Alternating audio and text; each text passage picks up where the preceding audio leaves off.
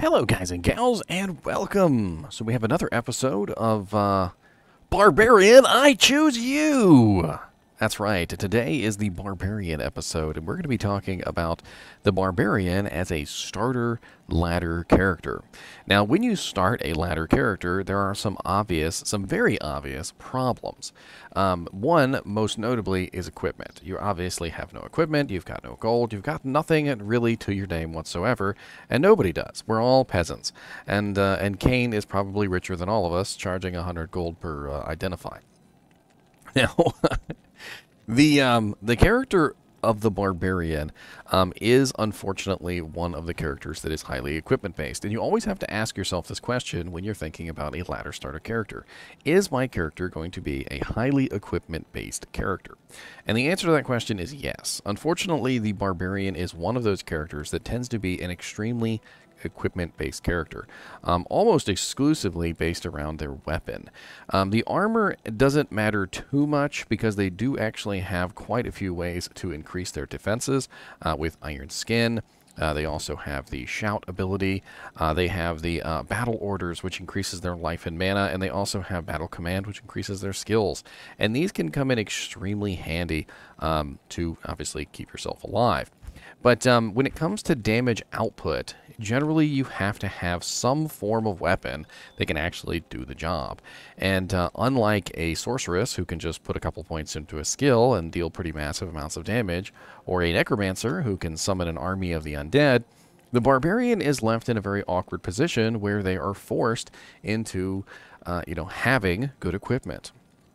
And this can be a detriment if you are building a barbarian as your first ladder character.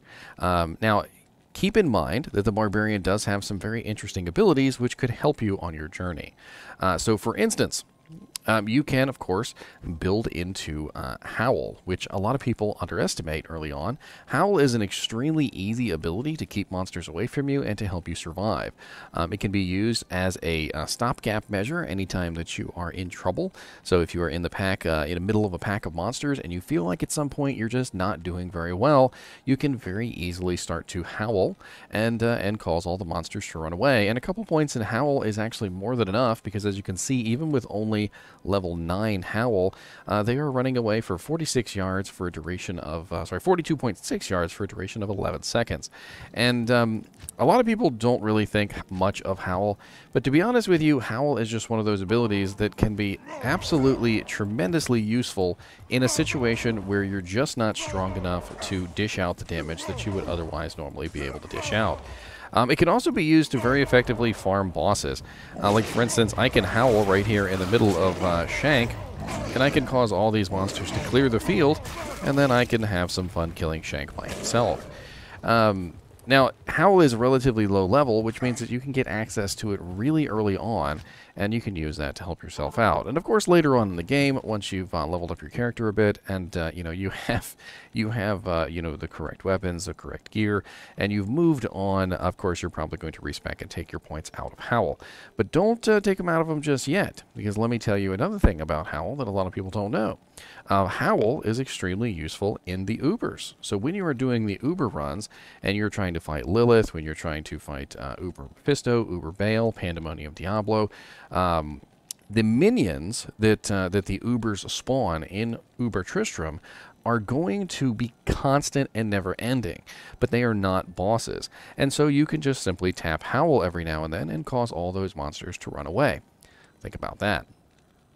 Now, Barbarian also has another interesting ability that uh, that nobody else in the game has, and that is Find Potion and Find Item. Um, Find Potion now has a synergy with Grim Ward, which increases the damage that it outputs. Um, so if you are uh, using Grim Ward near a bunch of monsters, uh, they take more damage for the Grim Ward being active, which is pretty darn awesome. Um, and this actually comes in as a really nice group utility skill. Uh, but Find Item specifically is a very interesting way that barbarians can uh, try to offset the fact that they do not have a massive amount of equipment.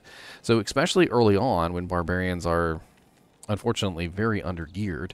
Um, you can put on a little bit of Magic Find gear, whatever you can find, whether it's chip topaz armor or maybe you got lucky and found yourself a Tarnhelm and a Gull dagger. Whatever it may be, you can use that and you can start horking. That's, that's what, what we affectionately call it. You can start horking items. And, uh, and find item works extremely well, but of course the monster still has to die for you to hork them. Um, when you hork a super unique, by the way, uh, the super unique will drop two items because that's what super uniques always drop. They're uh, guaranteed two item droppers. Now, as a group utility character, the Barbarian works exceedingly well. Uh, shout, battle orders, and battle command are all exceedingly useful in uh, in a group scenario. Um, like I said, Howl can also be very good to save people's lives. Uh, leap is also absolutely amazing in a group scenario. And uh, let me go ahead and show you this real quick, what Max Leap can do. Because I do feel like it needs a little bit of a, uh, a showcase for you guys to really understand the kind of the ridiculousness that Leap has. So um, I know Leap doesn't actually kill anything, but uh, but I still want you to see this. So uh, let's go into um, let's go somewhere where there's a lot of uh, evil monsters. Let's go to the Travincal. How about that?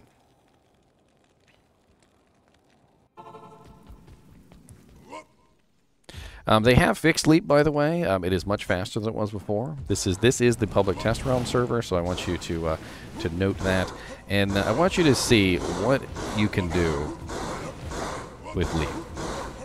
Notice how none of these monsters are capable of doing anything.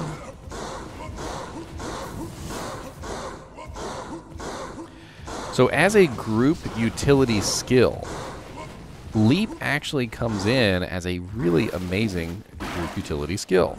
Um, you can have a barbarian in your group who maybe just simply builds leap and battle orders and battle commands and shouts.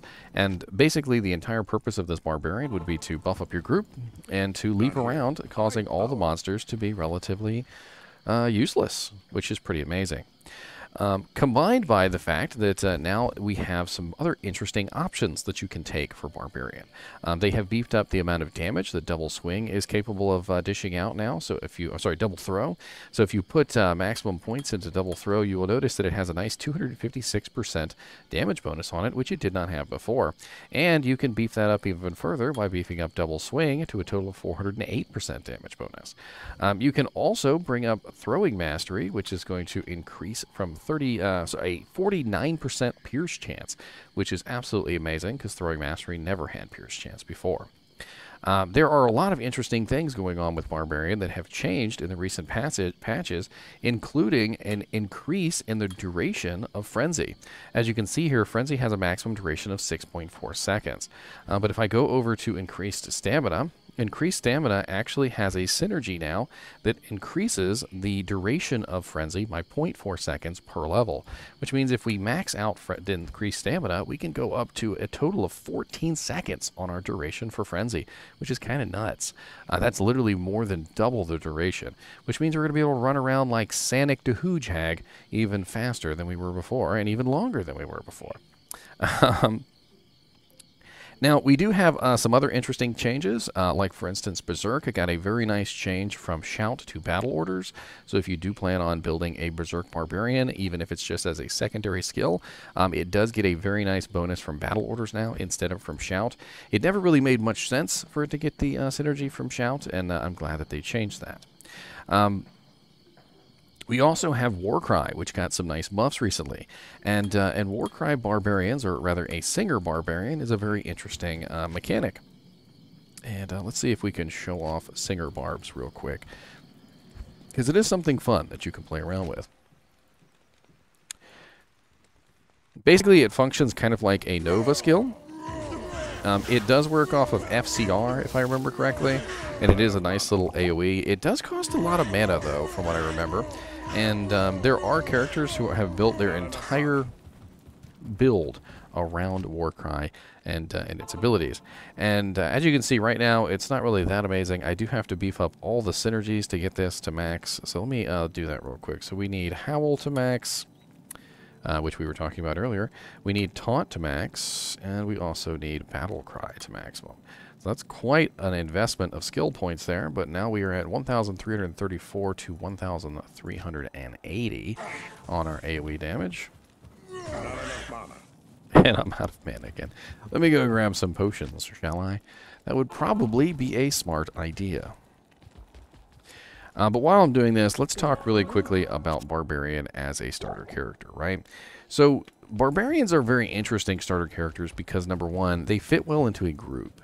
Um, I have found that on a regular basis, um, having a Barbarian in a group is definitely a lot better than not having a Barbarian in a group. And, uh, and just in general, uh, the battle orders can have a huge benefit to the entire group. Um, not just in form of the um, extra life, but the plus to skills, the extra defense, um, as well as the other mechanics that they can bring to the table. Like, for instance, um, the other mechanics they can bring to the table, like, for instance, the, uh, the Howl, the Grim Ward, the Find Item. Um, you can basically use your Barbarians as a, uh, a buff stick for the group. Um, think about it like this. Um, your Barbarian will build uh, Find Item, um, he will probably build maybe even Grimward because Grimward's pretty OP at this point uh, with with what is it 120% enemy damage taken bonus on it, um, which is going to be pretty massive. It also slows enemies down at this point as well. So you could theoretically do find item of Grimward. You could do the shouts obviously, so shout, battle orders, and battle command, and um, and if you did these right here, just these, honestly, that would be pretty great. And then you could also potentially build into Leap for the knockback effect. Um, and your Barbarian could be buffing the group, knocking back the monsters, keeping them away, and also finding items. And you would stack uh, Magic Find on him, of course, as much Magic Find as you could, so that he could hork as many good items for the group as possible. And hopefully good items for himself, so eventually he could swap out of the horking Barbarian mode. Um, when you're playing a group, sometimes you do have to sacrifice, and uh, and that literally is what it is. You know, it, eh, when you're playing a character like this who can provide such a massive benefit to the group, I mean, why not? I would even dare say that every single ladder group should probably have a barbarian running shouts in it uh, because a barbarian running shouts is just an amazing thing for the group. Um, not only uh, for the players, but also for the mercenaries, uh, for the necromancer's army, uh, you know, for the golem. All of it, everything is going to get better because of these shouts. And the higher that the shouts get, the um, the more defense that they apply, the more uh, health and mana that they give you, the more um, plus to skills and the duration of the plus to skills that they give you um, is definitely going to be very, very nice. Um, in fact, the duration is probably the biggest thing here because once you get up to a certain level, um, as you can see, they last about 500 seconds. Um, at level 28, and they can get even higher than that, and that's a, that's a really nice duration. Uh, so what else is there to say about the Barbarian? Um, playing a Barbarian as a solo self-found character uh, may be kind of difficult. Um, I'm not going to lie when I say that um, the Barbarian's equipment needs are rather high. Um, your Barbarian is going to need some very nice equipment in the form of um, uh, damage basically damaging equipment. The weapon is probably the most important thing for the Barbarian, uh, pretty much bar none. They do have natural resistance as a skill, which can help them overcome a lack of resistances, um, and they do have the Iron Skin, which can help them overcome a lack of defense, but they don't really have the ability to overcome a very poor weapon choice. Um, and I've often found myself, when playing a Barbarian, um, in a position where I would like to continue to the next tier or like to continue to the next zone, but I I just really don't have the weapon to be able to to get there. Um, and uh, and eventually you're going to come across a situation where your damage is physical only, and uh, and you just really don't have the capability of killing things. Um, there are a couple ways around this, by the way. You can build Berserk, which does 100% magic damage, uh, but do be aware that Berserk is a skill that does not steal life, um, not even from life tap. So if you do build Berserk, you're probably going to want to build something else as well. Um, you can also build other skills like Frenzy, which will help you run really, really fast. And quite honestly, Frenzy's uh, increased speed is actually so good that you can literally run almost faster than a sorceress can teleport. I'm not sure if that's still true now that we have the wide screen, because uh, the wide screen has sped up the teleport of the sorceress a little bit more than it was before. Uh, but now that um, we have widescreen, it's probably more of a competition. Uh, we also have some other interesting abilities like the uh, the throwing now, uh, and of course we always have the uh, the old standby whirlwind. And um, and leap attack has seen quite a big buff in damage, although it's not uh, it's not quite enough in my opinion. Um, I do think that Barbarian can make a very good starter character if you know what you're doing with the class, but I also feel like at the same time that the Barbarian can be an extremely challenging choice. Um, I do know some people who have specifically said that they want to try and start with a Warcry Barbarian, uh, which is going to be very interesting. Um, as a Warcry Barbarian, you do have access to obviously max level Taunt and max level Howl, uh, and Taunt is a very interesting ability which can cause monsters to run, you know, ch charge you, and Howl is a skill that causes monsters to run away. And just to give you a really silly idea of, uh, of what you can do with the ability to make monsters run away and the ability to make monsters come closer. Uh, let me see if I can uh, I can set this up and show you how this might work. So uh, I'm going to see if I can uh, put these two on binds. And, uh, and I'm going to make you guys laugh here. Hold on.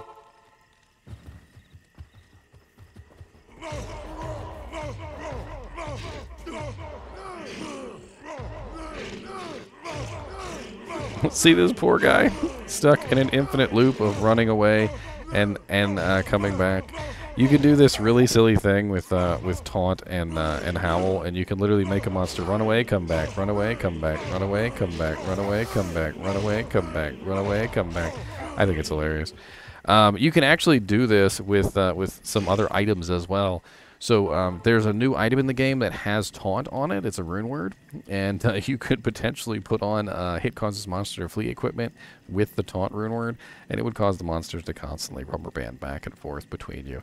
Because as the taunt hits, they're going to run back towards you, and as the hit causes monster to flee hits, they're going to run away. Um, it might even be interesting to uh, build a an Amazon around this effect, where literally you have a Amazon who is uh, firing hit causes monster to flee equipment. Maybe she's using the face of horror combined with the uh, the Rattlecage, which would give her 90% hit causes monster to flee, and then have a barbarian merc with the uh, with the, the, the the taunt sword, so that the monsters are constantly coming back and running away, coming back and running away, just for the laughs of it. Uh, a little little yo-yo practice. Um, all in all, I do think the barbarian can make a solid member of a group. Um, if you choose a barbarian for a group, you're going to be a very, very useful member of the group. But uh, you are also probably going to not be able to kill a lot of things. I have noticed in my time playing with barbarians in groups, I've done several ladders and I've also done several groups, including a mock ladder, and generally the barbarian tends to be the one who's kind of left behind as far as damage is concerned. Now, that does not mean he's not useful. The barbarian shouts, the barbarian's leap ability, the barbarian's find item, and all these things are highly useful to the group. And when the barbarian horks a Highlord's Wrath off of a random monster or a Jah rune or something like that, you guys are all going to be dancing up and down. And uh, trust me, you will be, uh, because uh, early ladder those items are worth a ton, and uh, and being able to use those for your group is uh, is absolutely amazing. Um, I'm also really interested in this Grim Ward. Um, I know that right now I think it's bugged, and I'm hoping that they fix it before ladder starts, obviously. Uh, but the 120% uh, damage taken from enemies that you can potentially get uh, from Ward is very, very interesting. Um, let me go ahead and reset my points real quick. But I want to show you guys this. So if you beef up Grim Ward to maximum, it still does uh, enemy damage taken 25%. And then if you beef up Find Potion, uh, it goes to enemy damage taken plus 120%, uh, which is a pretty massive bonus. Um, and um, basically what Grim Ward does is it allows you to uh, put a totem on the ground, which will potentially uh, cause a ton of trouble for everybody. Just go ahead and put some points in here real quick. a ton of trouble for everybody. Uh, you know, let's go somewhere where we have lots of monsters. Uh, Canyon of the Magi is a great place. There's always like just way too many monsters for its uh, for its own good here. Oh lords, might want to actually get some health. I didn't put any points into vitality. I only have 260 health. There we go. A couple points in health, boys. A couple points in health. It does help. It does indeed help. Not gonna lie. Hey, hey, I need my corpse. Gim. No. I will no. Y'all suck. Y'all some sucking suckins. this character is running full IK, and he didn't. He didn't even have any points in health. I feel bad for him. I, I didn't put any points into his vitality. He was literally only at 260 health, and uh, and he obviously didn't have his shouts. There we go. There we go. Let's give him an attack, too. You know what? That might actually be nice. I'll give him some mace mastery and a point there and a point there. And you know what? You can just bash things to death. Here you go. Level 30 bash. Revenge of the Revenge of the IK bar.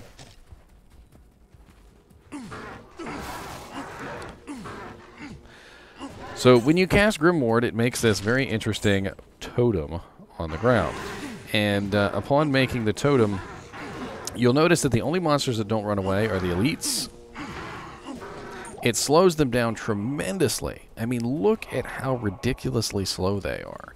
Um, they get a very, very nice 67% enemy slow. It's very similar to the way that Holy Freeze works. Um, they also get a damage enemy damage bonus of 120% damage taken. Now, right now, as far as I know, it is not working. I remember them saying something about uh, that Grim Ward was kind of bugged at the moment, and it was not functioning as it should. Um, but uh, but in the future, I'm sure that they will get it fixed. And uh, and honestly, the slow by itself is pretty amazing. Um, and there's no limit to how many of these you can summon, of course. You can just summon as many as you want. And when you are up against a wall, let me see if I can show you this as well. So if you are near a wall, the monsters will just run into the wall. Uh, let's go over here next to this wall, and I'll make one particular Grim Ward. Be nice if I could hit something. And uh, let's make sure they're on this side of the Grim Ward because you need strategic placement. And you place the Grim Ward and you will notice that they run directly into the wall and they just stand there. And they're easy pickings. You can then pick them off, kill them at your leisure. Um, if you're a sorceress, if you're an Amazon, if you're any kind of character that has ranged abilities, um, this kind of thing is absolutely awesome and can be just a massive game changer in terms of uh, uh, clear speed. Um, granted, sometimes you want them to group up, and that's why I'm saying you need uh, strategic placement of the grim wards. You don't just want to place them willy-nilly. Um, let's see what else we can talk about here. Uh, there's the barbarian is a rather simple character. You know, they they like to do damage, and uh, and damage is important to them. And uh, I'm gonna leap away from you guys. Now, of course, you can also use leap for that same purpose to hold them back. Uh, now that it is faster than ever, as you can see, it tends to work really, really nicely. I know you heard that sticky keys turn on. Ate that thing. I literally go into the options of sticky keys, and I will literally turn sticky keys off and say, never, ever, ever bother with me with this again, and it will still come back every single time. All you got to do is hit the shift key five times fast, and it will automatically uh, pop up. Now, as far as equipment goes, um, there are a lot of early game options that you can choose from. You're definitely going to need some faster hit recovery to help you uh, avoid those faster hit recovery stun locks. Um, early on, you might even want to avoid using a shield. A lot of characters actually do this because barbarians tend to have pretty horrible uh, faster blocking. And uh, just just in general, they just don't do well with shield early on. Once you get a nice shield that has faster blocking and increased chance of blocking and stuff like that on it, it tends to work out better um, if you want to go with a shield. Um, the good thing about Barbarian is that some of the items are very specific to Barbarian. So when you're leveling up with a sorceress, a paladin, a necromancer, an assassin, things like that, and something like an IK Maul drops, even though it's maybe not be the best item in the world, it can certainly help you out. Um, these items are generally going to be poo-pooed on by the rest of your group. So when you think about Barbarian, think about the fact that pretty much all the helmets, the Barbarian-only helmets, are going to go to you. Um, all the two-handed weapons that nobody wants are going to go to you. Um, so if it's not a polearm specifically that could potentially be used on a mercenary, uh, there's a very good chance it's going to go to you. Um, and, uh, and and that's because most characters in the game just don't tend to use two-handed weapons. Um, the only other exception to this rule tends to be the uh, werewolf and uh, bear druids. Uh, werewolf and bear druids do tend to use two-handed weapons, but it kind of, uh, again, it kind of depends specifically on the stats that are on those weapons. So you will have a really nice choice of the weapons that drop. So when a very good uh, two-handed weapon falls, uh, that is going to be a very good choice for you. And that might be what you want to do. You might actually want to go with a two-handed style weapon for your barbarian, specifically because if there are any other characters in your game, like for instance a, uh, a paladin who would be looking for one-handed weapons normally, because they always want to use a shield. Um, you know, if you have a uh, Amazon, they're going to be looking for spears and they're going to be looking for javelins. If you have a, um, a druid, they tend to be looking for uh, weapons that have very high increased attack speed on them, uh, which a lot of the times uh, you don't necessarily need, depending on the build that you're running on your barbarian. Um, so you can take advantage of these things. You can take advantage of the fact that there are items that will be tossed to the wayside, essentially, um, that you can utilize to good extent. Um, there are also quite a few items in the game that um, that won't be useful to most players.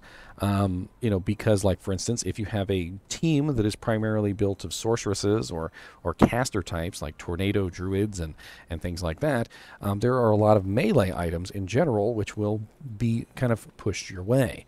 And uh, and eventually, if you are in a group, you will find yourself doing very well as far as equipment is concerned. Um, IK set in general, um, although it is poo-pooed on because it is not exactly the best set in the game. It does actually have uh, quite a nice usage case scenario uh, for a, uh, a, lower level barbarian. As you pick up the pieces, I believe this is the lowest level piece, although this is this has been upgraded by the way. Um, if you haven't seen my upgraded IK set video, uh, this is this is the uh, the end result. Um, a lot of these pieces can be gotten for relatively cheap early on in the ladder. You can trade for an IK maul, you can trade for IK gloves, IK belt, IK boots, and IK helmet relatively inexpensively. And uh, an IK armor is a little bit rare, uh, so you may have to, to fight somebody for that. And then eventually, when you get yourself some better equipment later on in the ladder, you can take off the IK set and put on something uh, more worthwhile. It's, uh, it's completely up to you. But uh, IK set is definitely a solid set that you can build toward early on in the ladder and then move off of later on. I think I've talked enough about the Barbarian, uh, but let's go over really quickly one more time uh, what the Barbarian is good at and what he's not. So um, he's not going to, he doesn't tend to be very good at uh, damage early on in the ladder. Because he is highly equipment based, you are going to find that your your progress on your barbarian is going to be tied specifically to the equipment that you can get. So if you are in a group and your group is pooling together equipment for you, you may find that your barbarian will excel. If you do very badly, if your group doesn't find any good items for you, or if you're solo self found and all you seem to be finding is caster equipment, um, you're probably not going to do very well. Uh, the Barbarian, unfortunately, is just one of those characters that is tied very heavily to the equipment that he finds. Now, there are some low-level rune words um, and various items that uh, that can help you in this regard, and I have tons of videos up. Uh, there is one video in specifically where I literally go over every single low-level rune word in the game and I talk about each particular one and their use case scenarios. And uh, a lot of those low level rune words can come in really handy for a low level barbarian. So you might want to consider taking a look at that video. Um, not really sure I would specifically choose a barbarian as my starter character, uh, but that's not because I don't uh, I don't think barbarian would make a good starter character. It is specifically just because I think I like playing necromancer better. um, I still haven't quite chosen exactly what starter character I want to play with this ladder. Uh, last ladder, I chose a necromancer. Um, and then the ladder uh, before that was a paladin. I want to say, yeah, it was a conviction paladin, um, and uh, and that is for a different video entirely. As always, I do appreciate you guys and gals watching my videos, and I hope this video has given you a little insight into uh, into barbarian as a choice for a ladder starter character. And uh, and as always, keep watching.